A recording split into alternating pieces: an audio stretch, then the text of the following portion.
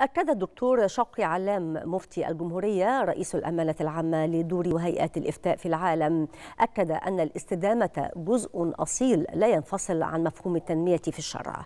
وخلال كلمته بالنسخة السابعة من مؤتمر الأمانة العامة لدور وهيئات الإفتاء في العالم تحت عنوان الفتوى وأهداف التنمية المستدامة أكد علام أن الاستدامة تعني تلبية احتياجات الحاضر على جميع المستويات المادية والروحية دون أن تتعرض احتياجات الأجيال التالية للخطر.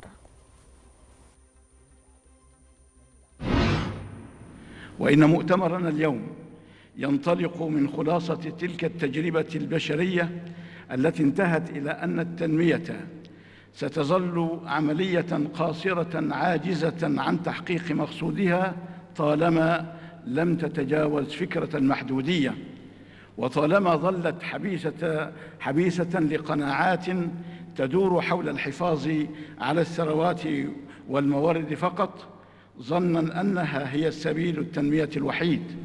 وإننا على يقين تام اليوم أن الطريق لعملية تنموية حقيقية لا يتحقق إلا إذا كان محور تلك التنمية هو الإنسان نفسه.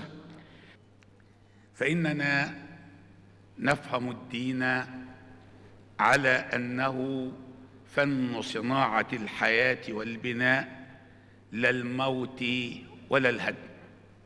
فكل ما يؤدي إلى البناء والتعمير